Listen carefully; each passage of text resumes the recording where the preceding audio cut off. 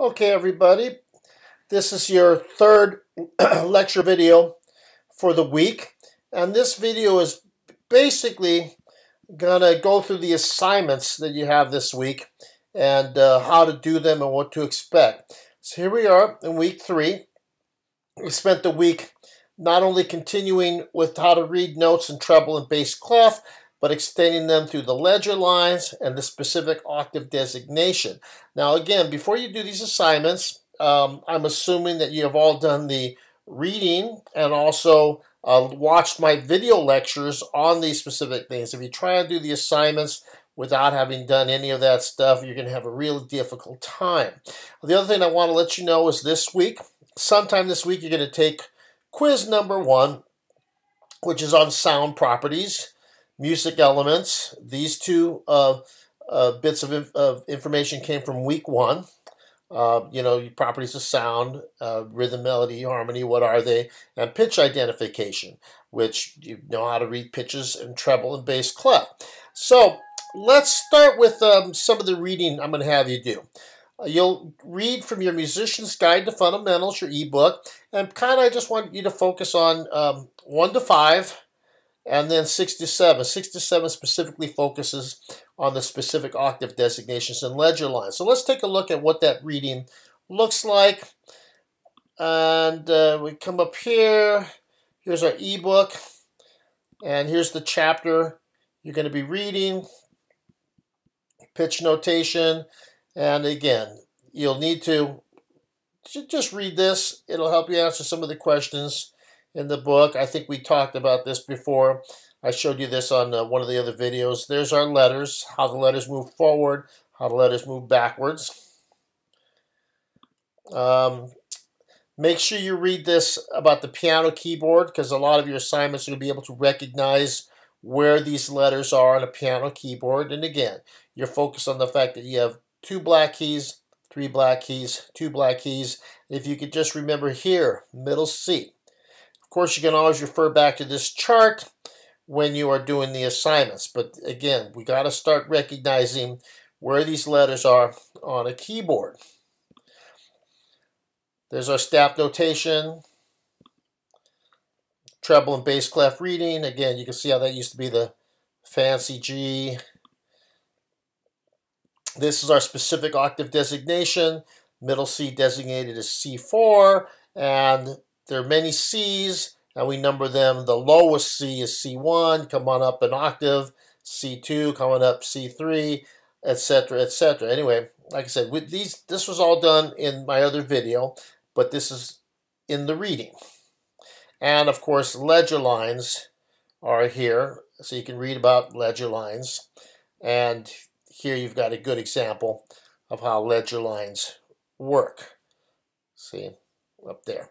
Okay, so that that's the reading. All right. Now, in terms of the assignments from this chapter, from the ebook, I've given you the music from the musician's guide. Know it, know it. Exercise chapter one. So let's take a look at what that looks like. So you go to your book. You should be by now. You should be able to have this up, and we're gonna do the um, let's see, which one was that again? We're going to do the Know It, Chapter 1. So click on this guy, Chapter 1. If you need to, you can read this How to Use InQuizitive, but I think you guys will be able to get it without reading that. Just go right to here. And uh, I'm going to do this activity as a student. All right, let's start answering questions. All right, so right here, again, you got to get points. Um, you you got to answer a certain number of um, questions. All right, so if you can do like a, I forget what it is, like 14 or something in a row, it, you've demonstrated you can do it. But it'll just keep on going if you're struggling with every activity. So you can't do like, um, you know, 10 all wrong and, and complete the assignment.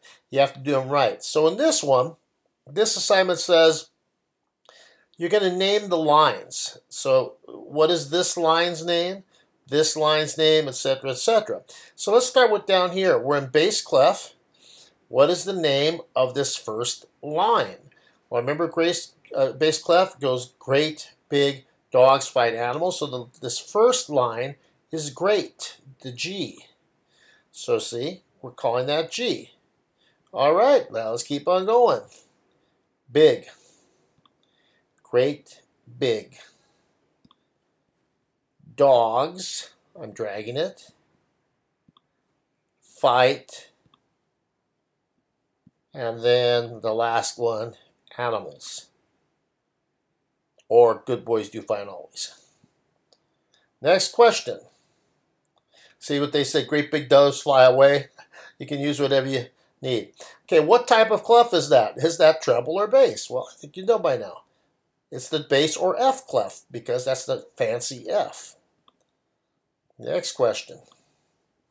Now, if you think you know this material pretty well, you can get more points. So here we go. We get gamble. Say you get more points if you raise that.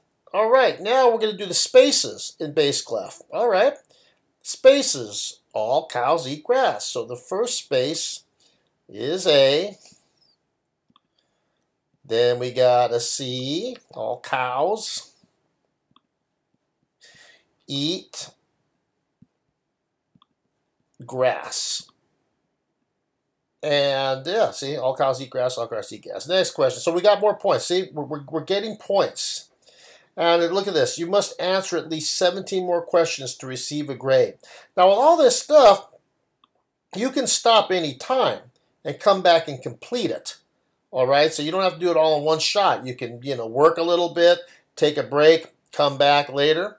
So spaces, now spaces in the treble clef. Let me just do this one. We know the space in treble is face. F. A. C. Sometimes I'll see students do this one backward. They'll go F, A, C, E. Remember, up. And finally, okay, so that's how basically these are going.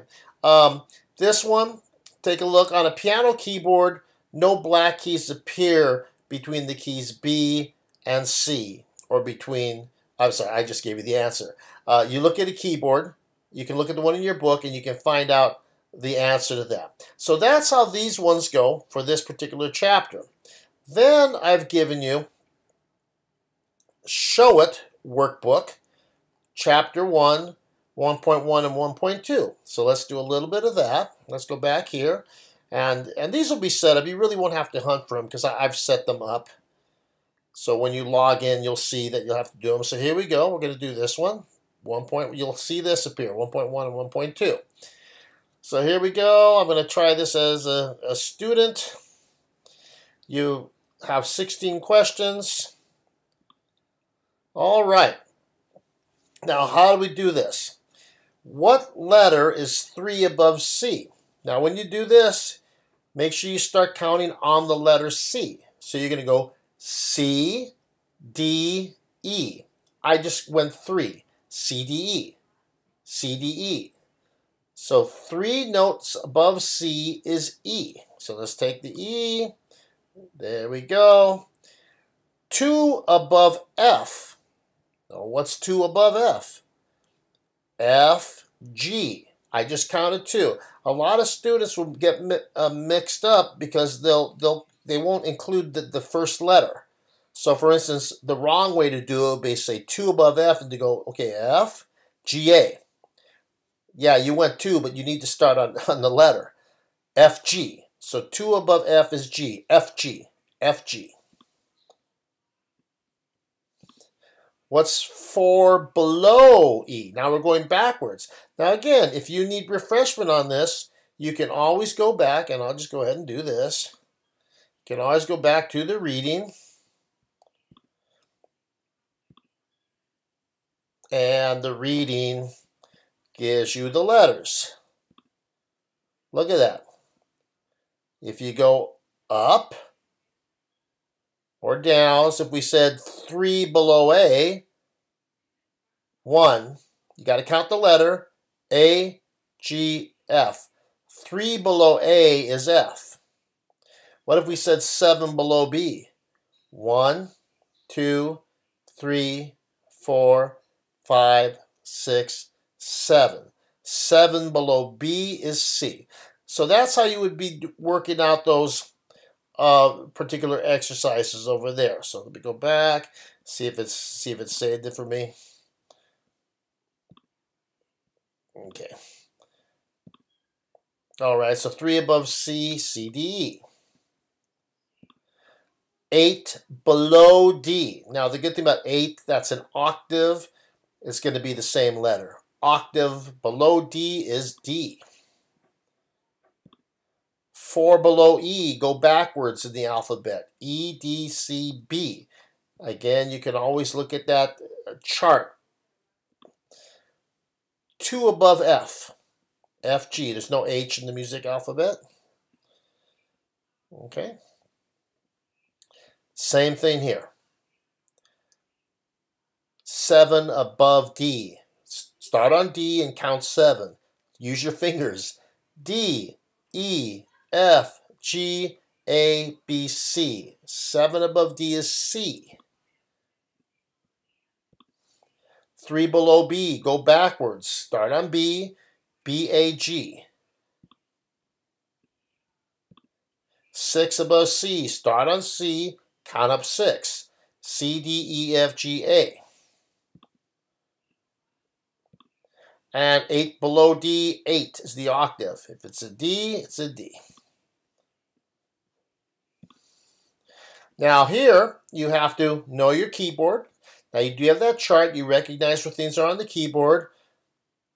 Two black keys, the C starts right before two black keys. So anytime you see two black keys and there's a note there, that's C. So here we go. That's C. Whoops. That's C. Now, if that's C, where's F? C, D, E, F. See how that works? One. Let's do one more. Where's G? C, D, E, F, G. Here's G right there. All right. Well, let's do this guy. Where's D? CD, which leaves us with B. C, D, E, F, G, A, B. See how easy this is? It's just seven letters. Click on all the E's. Well, we know that C is here, so if this is C, C, D, E. There's E. Oh, here's another one. C, D, E right there. Here's C, so there's E. All right, so I think you get the, the hang of it once you start doing these. And then I've given you 1.2. Now with 1.2, you, um, this is, you'll have to know your ledger lines and specific octave designations. So here's our keyboard. Here's C, specifically this is middle C, C4 middle C. So if this is just going C, D, E, F, G, A, B, C, D, E, F, G, A, B, etc., etc., going backwards, C, B, A, G, F, E, D, C. So the question is, can you recognize this note? And once you recognize what letter this note is, where is it on the keyboard? How high or how low is this note? So this is where you need to know the ledger lines, how the ledger lines work. So let's let's see how this works. This first ledger line is C. So if this is C, go backwards, C. The space is B. Go backwards. Line is A. Go backwards. The space is G, which means this line is F. Okay, now that we know it's F, there's a lot of F's. C, D, E, F. This is F. Looks like F starts before the three black keys. So that's F. And this is F. And this is F. So this one's F. This one's F. This one's F. The question is, where on a keyboard is this F? Well, middle C's right here. This is middle C. So it looks like this F is just below, below middle C. So here's middle C. Go to the F that's below. So CS is number one. That number one F is here. All right. Now let's look at this one. If this is C, that ledger line is C. What's right below C? Right before C is B. This guy is right before C. There's the middle C. So that means the B's right there. So this B, that B, there's a lot of B's, but this one is right there on the keyboard. This is an F, and this is the F that's just above middle C. So that's where that F is. So you see, this F is that low. This F is right there. This is D. Every good bird does. So that's obviously this one. Where's the, it's not there because that D is right next to middle C. That's not next to middle C. That, that's higher. So it's going to have to be this one. Which leaves us with the last one. That B is way, way up there. All right, continuing on. They changed where middle C is. Middle C is now, now we're looking at the lower end of the keyboard.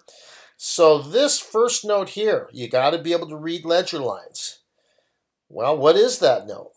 All right, well, we know this line is G. Great. Now count backwards. Line, space, line, space, line.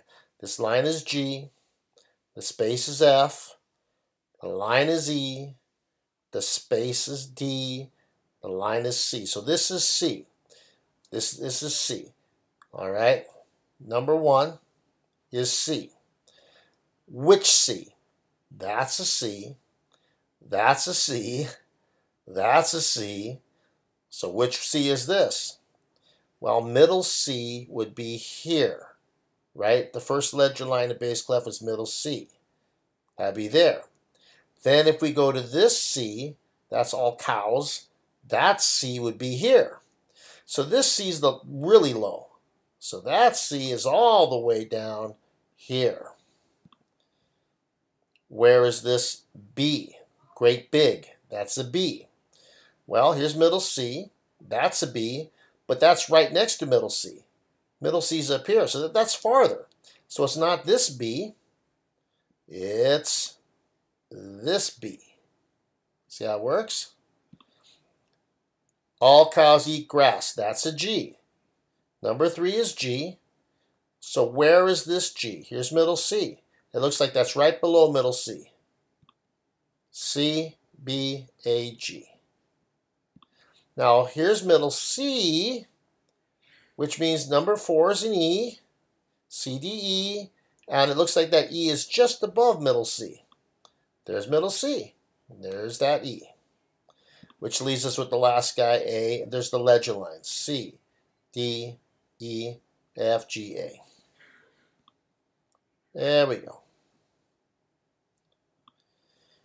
Now we have the octave numbers. Now this is in my lecture video. It's in the charts and it's in the reading. So let's start. Let's start with this guy. What is it? If you can read your ledger lines, we know that this is F, this space is G, this line is A, the space is B, that line is C. Okay, it's a C. Problem is, is it C4, C6, or C5?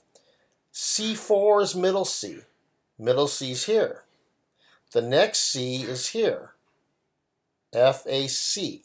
So middle C is C4.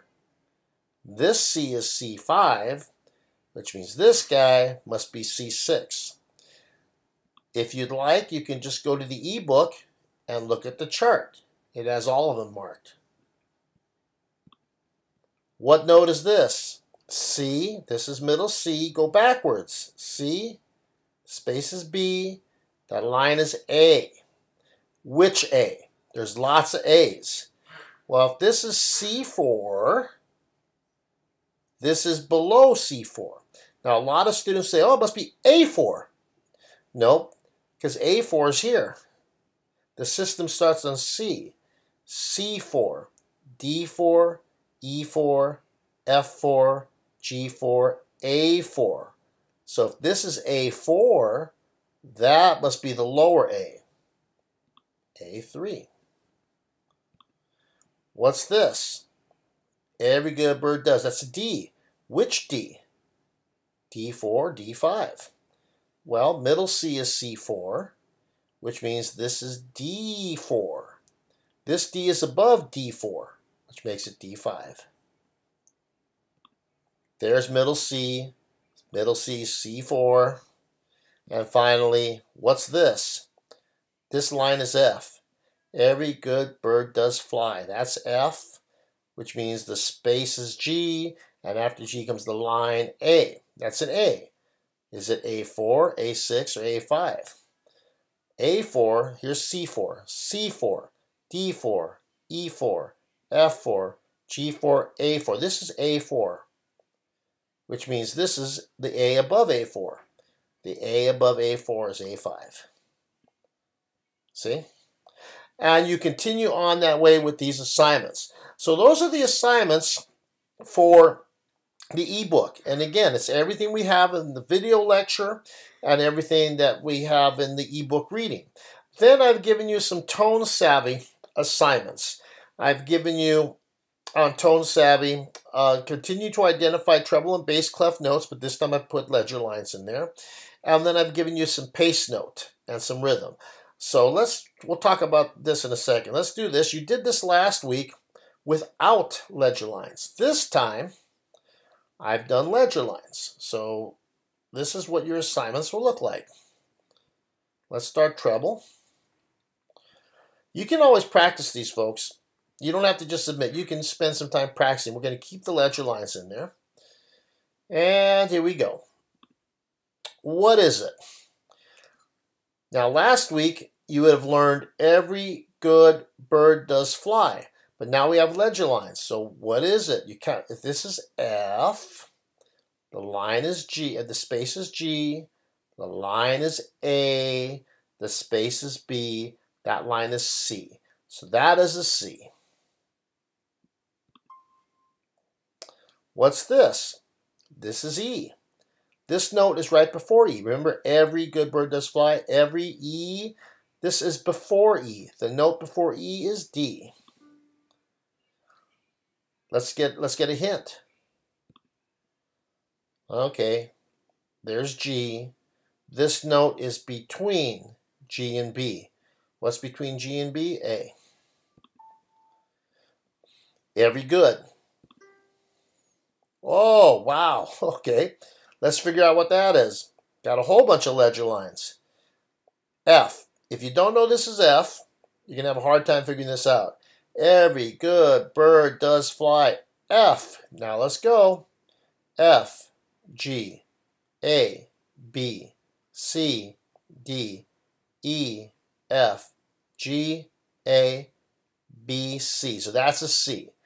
So you we can see specifically if you were going to give it a, an octave designation, here's C4, here's C5, Here's C6, that would be C7. But right now it's not asking us, just wants us to know the letter. That is a C. One more. Last letter of the word face. And let's just do a couple of uh, uh, bass clef ones. Reminding you, you can practice these things before submitting. We want ledger lines. Bass clef. This is middle C. C, D, E. Hmm.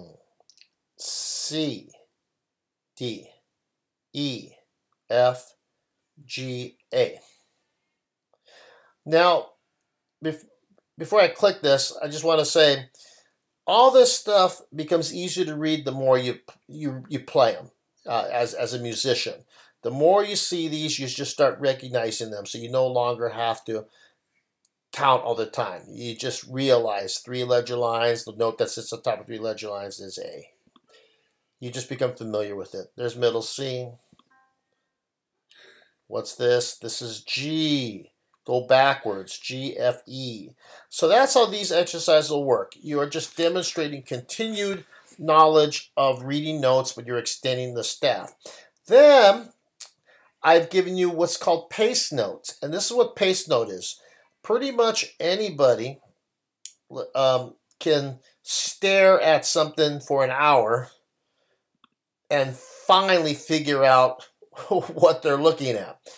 I've given you this this week. Pace notes eh, with no ledger lines. And these ones, the notes are moving. So you don't have a lot of time to think about it.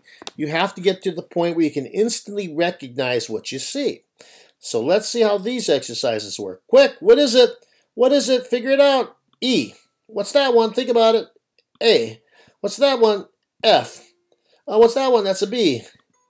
What's this one? Now, I d didn't set it to move this fast.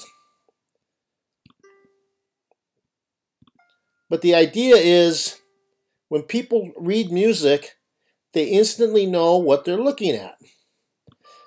They don't sit there and scratch their head. Now, let's say this is going too fast and you're like starting to freak out. Stop. Take a Valium. Take a drink. Say, okay, whew. All right, all right, here we go. Try it again.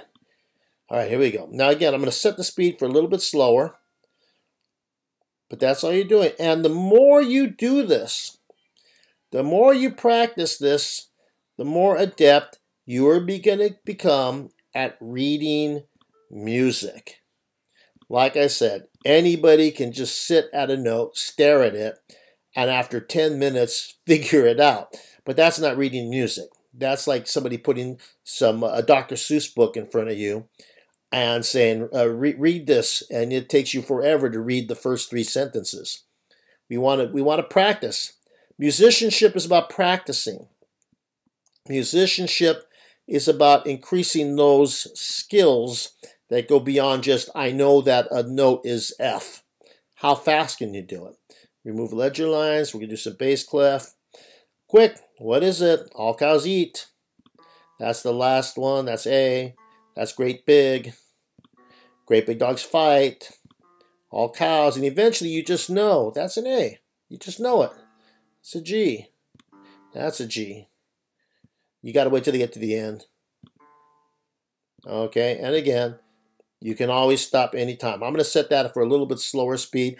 And you can practice. When you practice these things, you can set the speed yourself if you want to practice. Say, I'm going to practice uh, with no ledger lines, but the speed is too fast. So, all right, well, practice slow. Practice at a speed three. Okay, that gives you time. A little bit more time. Okay, what is that? What is that? Oh, yeah, great. What's this? All cows. Okay. And I just got to keep on emphasizing this. The only way you get good at something is to practice, whether it's being a musician or a mechanic or a basketball player or a skateboarder. You got to practice. You are not going to develop skills unless you practice. Okay, and then the other one I've given you, the last exercise for ToneSavvy.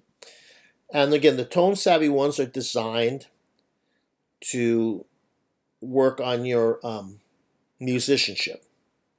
All right, not just knowledge, but musicianship. Uh, I think, um, let me make sure it's set. Quarters, halves, wholes, and eighths. Okay, so you guys know about no rhythm. If you practice this, take out the ties. We don't want any ties. All right, so we're going to calibrate.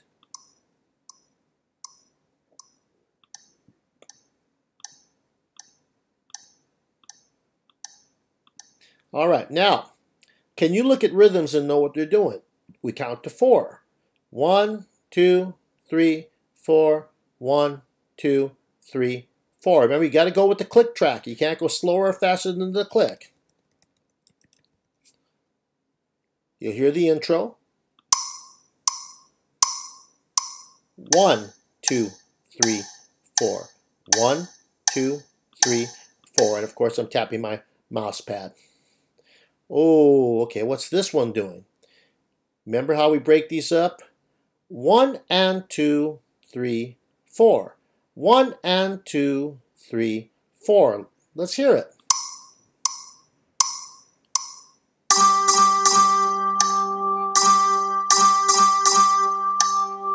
I think I can tap that. One, two, three, four. One and two, three, four. One and two, three, four. See? One, two, three, four. One, two, three, and four. One, two, three, four. One, two, three, and four. And of course, hopefully you guys understand how I'm tapping my pad. Let's listen to this guy. One, two, three, four. You see that? One and two and three and four and. One, two, three, four. One, two, three, four. One and two and three and four and. Let's do one more. One, two, three, four. One, two, three, and four, and. Listen. Two, three, four. One, two, three, and four, and. I got that. One, two, three, four. One, two, three, four. One, two, three, and four, and. All right, so that Again, practice, guys. Practice, practice, practice. I can't emphasize that more. So for this week, that's what you're looking at. You have your video lectures. You've got your exercises. And by the end of this week, you should be able to continue to recognize these expanded amount of ledger lines, our specific octave designations, and continue to work on our musicianship skills of reading rhythms. All right, guys, have a great week.